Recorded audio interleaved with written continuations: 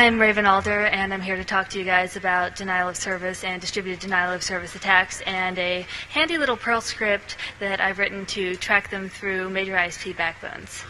Now, I know most of you are probably pretty familiar with this, but just a quick background on denial of service and what we normally see to let you know what the problem is with ISPs and why a lot of them don't slash can't address it. A lot of denial of service attacks that we're seeing are. Beg pardon? Can you hear? Okay. Better? Yes. All right. Um, there are two major types of denial of service attacks that we see at my job. I work for a major ISP. We'll see denial of service attacks where they're just coming from maybe one or two clients with the source IP address is spoofed, or we'll see denial of service attacks that are coming from like 200 clients with legitimate IP addresses.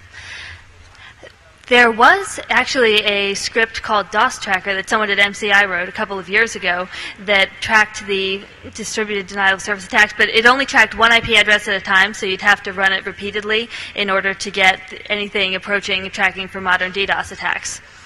Now, the script that I've written, uh, written is called Eyeball, and you can find it on SourceForge, sourceforge.net slash projects slash eyeball and it's capable of tracking many IPs. It's also capable of tracking spoofed addresses. Currently, it only works on Cisco platforms. It does work okay on GSRs. We hope to add support for Juniper and Zebra routers in the near future. www.sourceforge.net slash projects slash eyeball. And the script, as you can happily see, is open source, so you're totally free to take the source code, modify it, change it. If you find any bugs or problems, please let me know. Um, you can also send email to me at ravengeek at users.sourceforge.net. Now, the problem that most ISPs have in dealing with denial of service attacks is that actually tracking down anything with a spoofed address takes absolute ages. You have to log into each router in the path, so you usually start at the router closest to the customer being attacked. You can log in, throw an access list on there on the Cisco platform with the log input keyword which will log where the actual source interface is of the traffic coming into the router and then track it back. Most links are point to point, so you don't really have a lot of problems figuring out what's on the other side of that link. now, doing this manually takes hours. Doing this manually when you have 200 source addresses, most ISPs won't even bother. And this script obviously is not going to change that. What it can do is automate the process and give you a list of here are the IPs at which this attack traffic entered your network. All right. So, licensing for the script we covered already. It's GPL. Have at it. Uh, oh, also a quick thank you to Ben Stern, Tiffany Mork, Steve Ains, and most of all, my husband Raven Black for much help getting this up and running and tested and all that. All right. In order to run this script, it's a Perl script. You obviously need a Perl environment wherever you're set up. You will have to set up little access files with your username and passwords. On Cisco's, you will usually require a regular password to just log on via Telnet, your VTY passwords, and an enable password or enable secret. The file that you'll set up can handle TACACS or things where you have an actual username whether it's just TACACS for the login and, and then regular local database passwords for the enable, or whether it's TACACS the whole way. If you have your routers set up so that you can have more than one authentication method, i.e. a TACACS server and then fall back to local bases, you just run the little script to set up your file twice and then append the second onto there. Bundled with the package, which you can get on SourceForge, is a script called router access encode you invoke that with output, the little angle bracket output, towards a file called router access dash default, dot router access dash default. And it will prompt you for your username, your login password, and your enable password. This uses the NetTelnet Cisco module in Perl, which will in- intelligently handle logins. So if you give it a username and the router happens to be configured to only authenticate from a local database and doesn't use usernames, then it won't return the username for the password or anything like that. It should work just fine. If you have a backup method, run the script twice, eh, but the second time append the output to router, router access default, and that will put in, you know, if it fails on the first authentication, try again with the second set of username and passwords. This should handle radius. I haven't tried it with that, but it works okay on TACACS and local passwords. All right. Now, once you've set up this script there, the router, router access default file has to be located in your home directory to actually work. All these files that Eyeball uses should be located in the same directory, but that doesn't matter whether it's your home directory or not. The only thing that has to be in your home directory is the router access default. Also, the encryption that's done on the router access default is really, really weak. It's almost like the you know, ROT13 or something. So it's only there to prevent a casual observer who happens to, you know, look at your console or something from knowing your passwords. Do not store this with permission so that anyone else can read it because they can decrypt it with a napkin and a pen. All right. So after you have created the proper router access and default file, um, you will also have to set a environment variable for the eyeball access list. Now, the way that this script works is it will go into each router on your network and create an access list with the same number. The way that Cisco does access lists, they have their access list grouped by number, and the number represents the type of access list it is. So anything between 101 and 199 is going to be an extended IP access list. That's what you want to use. You have to make sure that this access list is not used on any other router in your network. Otherwise, when the script logs in, tries to create the access list, it depending on the version of IOS and the bugs therein. It may overwrite, it may change, it may just totally delete your other access list and screw up your routing otherwise. So, bad idea.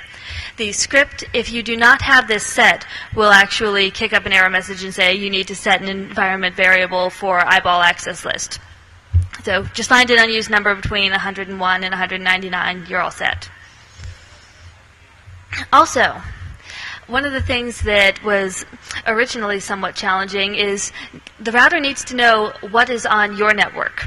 Assuming that you're a ISP or a provider otherwise, you don't want the script attempting to log into the routers of your peers, et cetera, et cetera. So just crawling through the network and going interface by interface until your passwords fail is not really a good idea and tends to annoy people.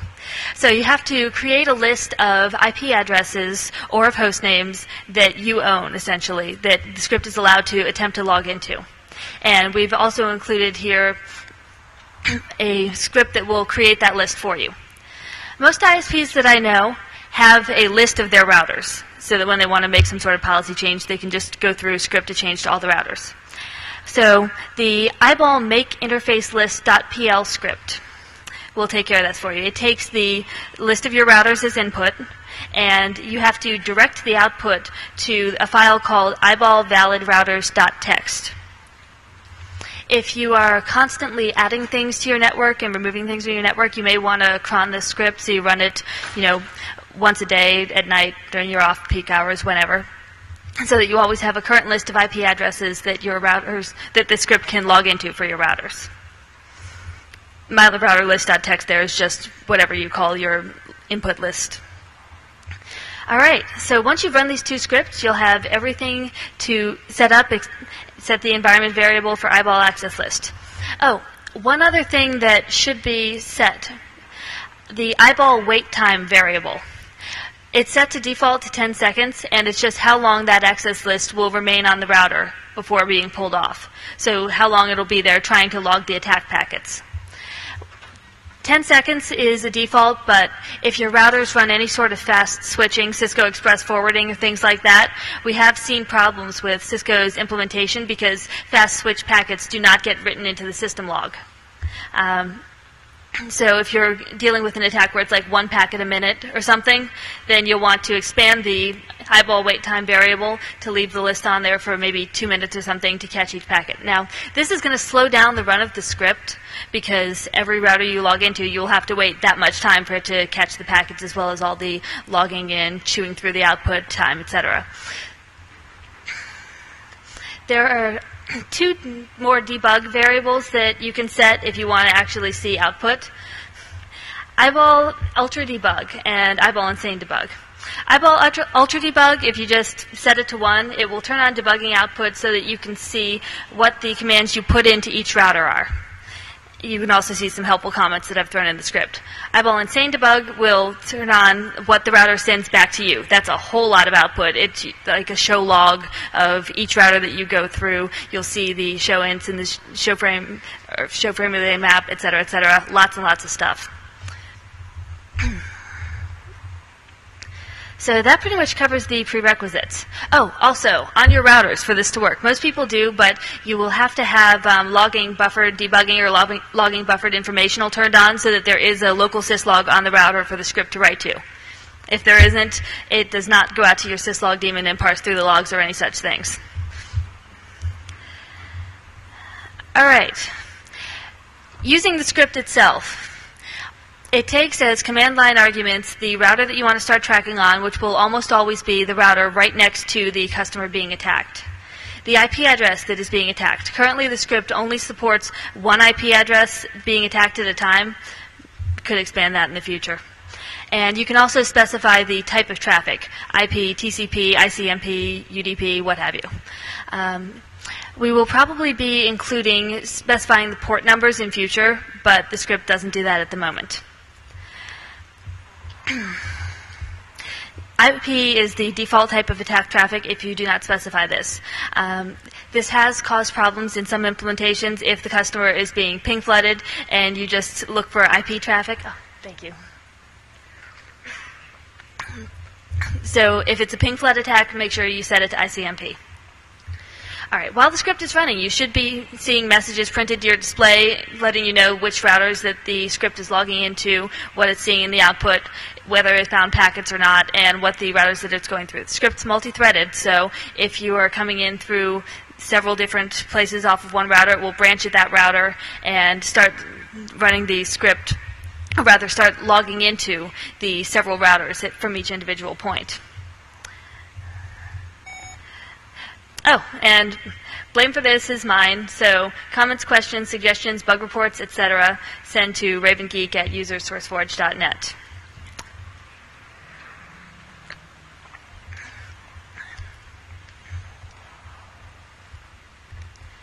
All right, let's get to the script. It uses a module called router access, which is included with the distribution of the script. That and all that router access does is throws the login functions on there. You'll see them called a bit later. It will take the router, the attacked address, and the packet type as arguments, and you can specify the wait time as an environment variable. It does not check that from the command line. You'll get an error message there if you don't have eyeball access list set as an environment variable. You can see we have a function here to actually throw on, or rather a array there to throw on the access lists on the router and to remove it. Simple Cisco commands that you guys are probably really familiar with. You'll notice the host keyword in the access list. This is because it only goes through one um, attacked IP address at a time If you have several addresses being attacked, then I would suggest running it, at least until we put support in for that, running it once for each IP being attacked. The script will output to eyeballoutput.txt in the directory that you have invoked it from with all your eyeball stuff in it. Um, I would move that after I have done each individual address being attacked so it doesn't overwrite, append, any such thing.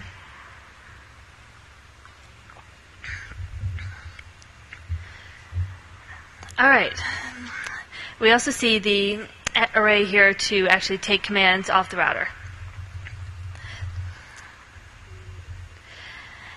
Now, when it first tries to log into a router, it will print an error message to the console if it actually can't log into the router. Otherwise, we'll give you, I've logged in, it took this many seconds to this particular router.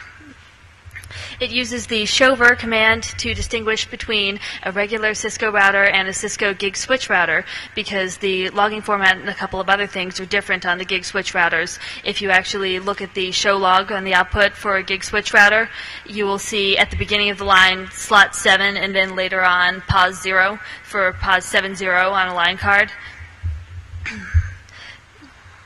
So show ver identifies the difference between a gig switch router and a regular one. I believe that I'm not real savvy with junipers, but I've been told that show ver will also work on a juniper, so when we start including those in, we'll probably also differentiate via junipers that way. So, now in order to determine which way the, uh, which interface the attack traffic is going out, it will do a show IP route on the address that's being attacked. If this is not something directly connected, then it will just do a show IP route on the next hop eh, repeatedly until it gets to something that is directly connected. This is because when we put the access list on the interface, we're going to apply the access list outbound on the interface that is facing the router being attacked we can use the log input command on there to log where it's coming in from. This gives you a relatively foolproof way of tracing spoofed packets. The script does treat every packet that it looks for as a spoofed packet, so it doesn't attempt to determine whether the packet header is spoofed or not. It'll just do show IP route and log input on that interface regardless.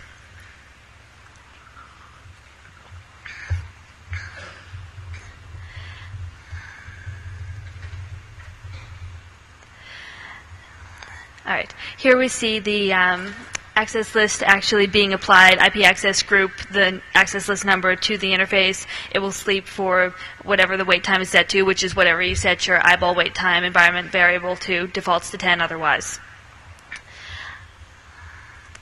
One thing that you may want to um, look at if you do not have fast switching available if you have a packet sniffer anywhere near the guy being attacked, or you can just throw an access list that permits IP any any or permits ICMP any any and logs, try and diagnose before you actually run eyeball the type of traffic that's coming through and how often you're seeing it. It won't really help you very much to use the default wait time of 10 seconds if you're only getting a packet a minute. You've got you know a one in six chance of your 10 seconds being that 10 seconds. One bug that we have encountered. What you should be seeing in the show log of your router after you've run the script, in each router that the script passes through, you will see three configured from you know wh- whatever interface you've come in on, whether it's console or VTY or what have you, by username if you have TACACS or anything with the username enabled three separate times. Now, the way that the script works is it will log into the router, create the access list, get out of global config mode, go back into global config mode, apply the access list to the interface with access group whatever out, wait for the eyeball wait time, remove the access list, get out of global config mode, and then later gets back into global config mode to remove the access list from the router entirely, and then gets out again. So you should see three configured from console by Raven etc. And the packets that are logged should be after the second iteration of that. There seems to be some problem with the timing of this by Cisco, and I've talked to their TAC about this, but there are a good number of times where you'll see configured from console, configured from console, configured from console, anything that happens in the next minute or so, and then all the logged packets. Um, so it appears that the packets are being logged after the access list has not only been removed from the interface, but has been removed from the router entirely. It's kind of strange. So we put an extra little sleep function in there so that if the access list is removed, you still wait a bit before you actually check the logs to see if anything happens. If you have this problem recurring, then check your version of IOS. It was happening a good bit in 12.0.16s, but seems to be fixed in 12.0.16st. You may also want to talk to Cisco about it. They are aware that the script exists.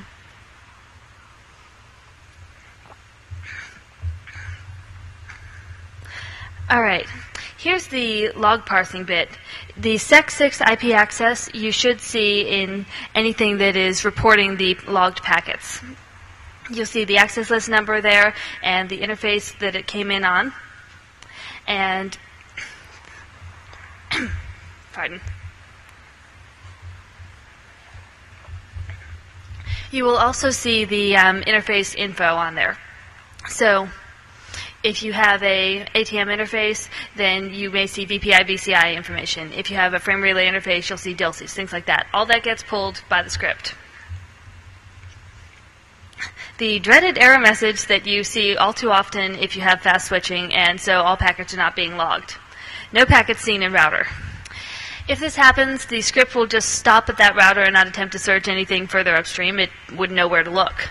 Um, the only fix that I have found so far for that, if the fast switching is enabled and so all packets aren't being logged, is you can try and run the script again, or you can increase the wait time. Sometimes that helps.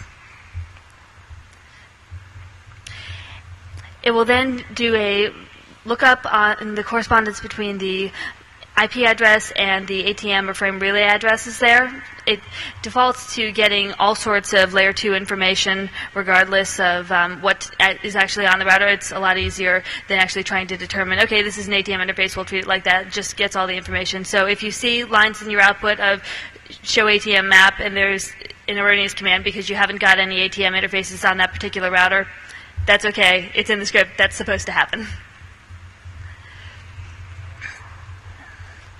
and it will then log out of the router and move on to the next one. Now, I've done some testing of this script, and it seems to work fairly well, but the fast switching is the biggest problem that we have. Um, if any of you got, it has to be run by someone with enable access to the backbone, obviously, because you need the enable scripts to be put into the input file. This means that end users cannot run this script pretty much only ISPs are capable of doing that. If any of you feel like giving it a try, please let me know how it works, what happens, etc., etc. I have tested this on Linux platforms and on Solaris platforms. Everything works okay on both of those as long as you have the proper Perl modules installed. I haven't tried it under the Windows implementation of Perl. I'm not much of a Windows chick, but it should, in theory, work.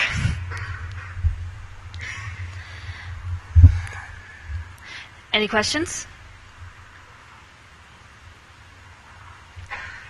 Yeah.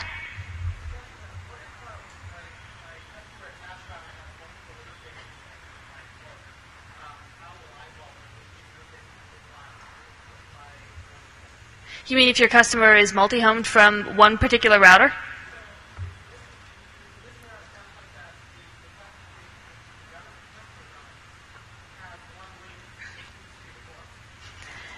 Yeah. Um, if the customer has multiple links into your core, then you should run eyeball twice or for as many times as each link they have, starting at each router that they have a link to you on. So if they have two T1s out of one router in, you can start it on that one router and it will be fine.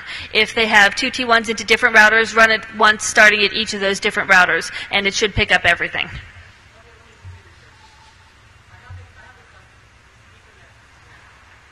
Okay.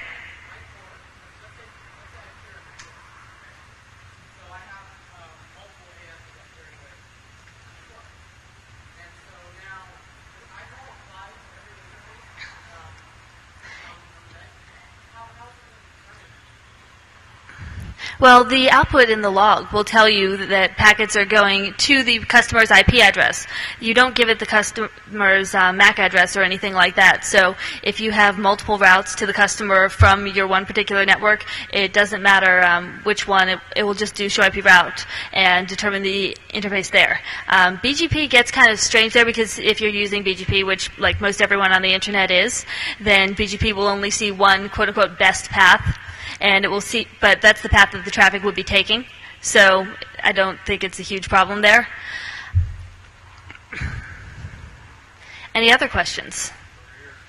Yes.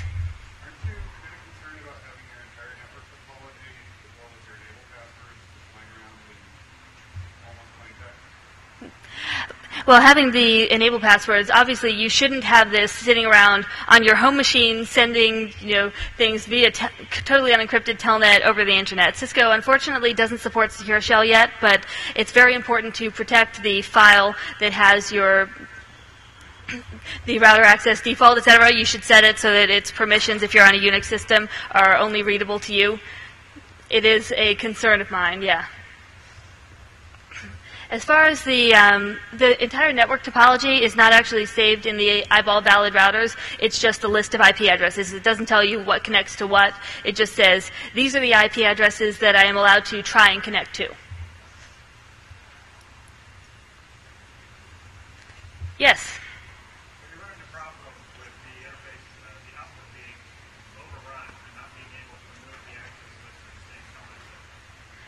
No, I haven't had that come up. The question was, have you run into problems where you are unable to remove the access list in the same telnet session? It may be an IOS specific thing, but it seems like if it actually manages to log into the router, it can throw on the access list, look for traffic. The biggest problem I've seen is when it doesn't actually log any packets because of the fast switching stuff. But I've never actually had it die like mid-session.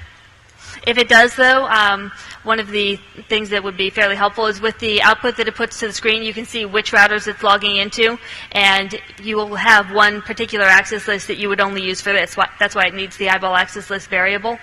So you could, at worst comes to worst, go back through the routers that it's output on the screen and make sure that those IP access lists have been removed from the routers.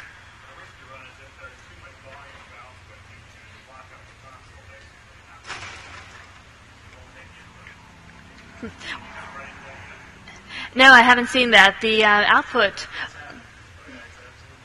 Mm.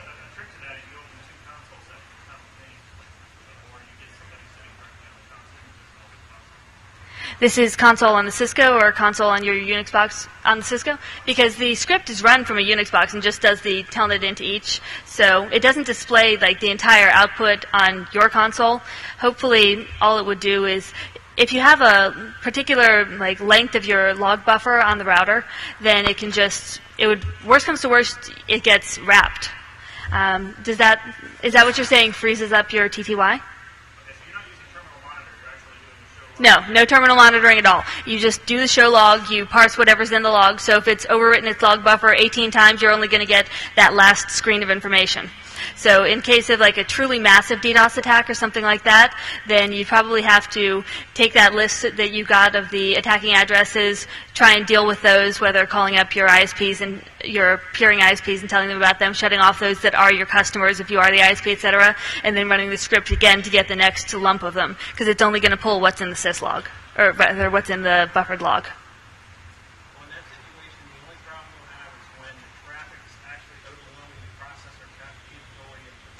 Yeah. Yeah, if it gets to the point that it's killing your router, then the script will not will probably aid in your router's death slightly, but you're already killed. we did try running it on some routers that were short on memory, and in, indeed, in one of the initial sketches out for the layout of the script, I was going to have it do like a couple of show runs, pull out secondary IP addresses for the interfaces so that if you had an Ethernet interface with two IPs assigned to it, it would include both of those in the um, allowed list. As it is now, it will only include whatever is in a show IP interface brief. So that's only the primary IP address on any interface, but it will get IPs of sub-interfaces and such. Um, but we have a couple of routers in the network that I was testing on that are very short on memory, and so avoiding doing a show run was generally a good idea so as to avoid causing malloc failures.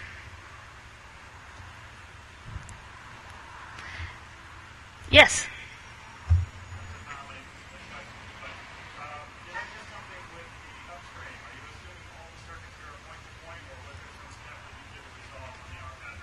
It does do the ARP addresses. Um, that's why it pulls the show frame relay map, et cetera, et cetera, to get the ARP. And then when it goes through the logging, it pulls the both the interface number and the interface type, so it'll get DLCI, VPI, VCI, what have you. That part, the um, I haven't actually tried it on any multi-point links.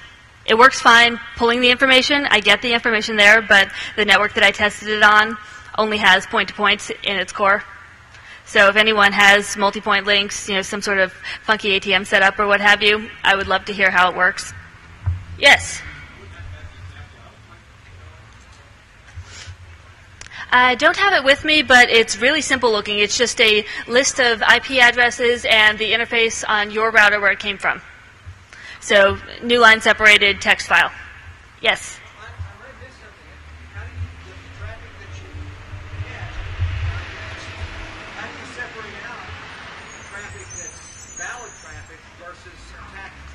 Good traffic and bad traffic. Yeah, that's all in the creation of the initial access list, which is why I was saying if you can possibly try and figure out what type of attack traffic they're sending, and that's one of the reasons why I want to include a port filtering in the future. The access list that's created is just a two-line access list. The first one will be permit traffic of the traffic type that you've specified. So if you said TCP, then it will only look for TCP, etc.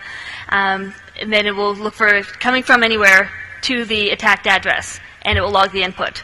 So, yeah, this does mean that if you have a server that is being attacked on its web port and legitimate users are trying to FTP to it, then you are going to get those legitimate users' FTP traffic reported in there. So, the port filtering will be out in version 0.4.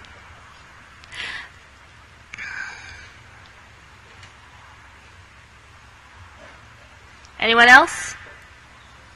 Yes. Yes.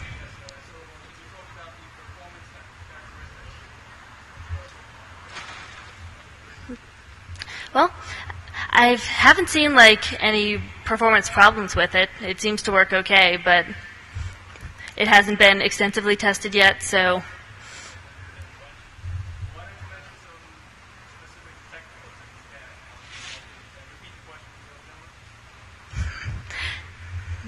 Okay.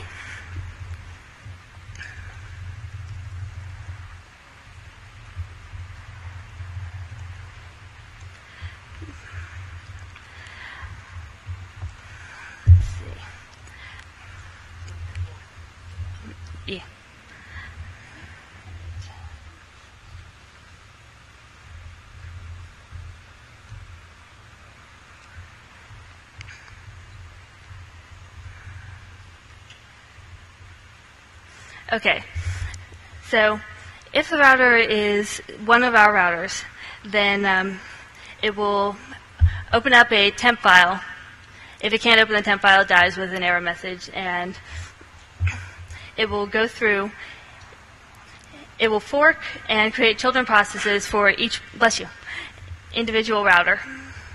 And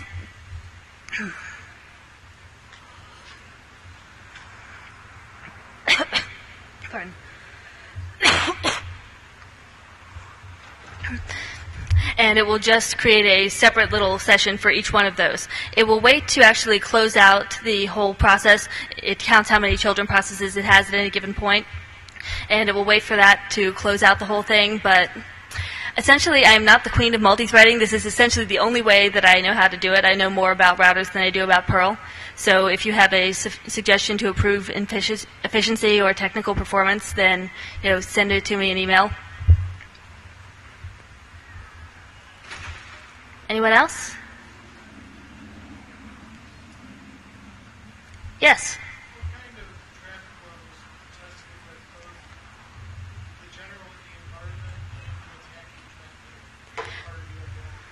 Well, I've tested it on routers that have uh, interfaces up to OC48 speeds that were at about, the OC48s were on 20% utilization, but on the same routers we also had OC3s that were at like 80 or 90% utilization, and it didn't seem to cause a noticeable performance lag on the routers or anything. Oh, thank you. Um, as far as attack traffic volumes, I haven't seen anything above about let's see, I didn't test it with high level traffic volumes with uh, more than about 200 attacking addresses in the last like couple of versions of the script simply because the ISP that I work for has not had an attack of that level going through it in the later versions of the script. It seemed to work all right in earlier versions, but a good number of things have been changed. I've gone up to about 10, 15 attacking hosts sending about eh, 100 megs of traffic or so to the attacked address, and the script handled that okay.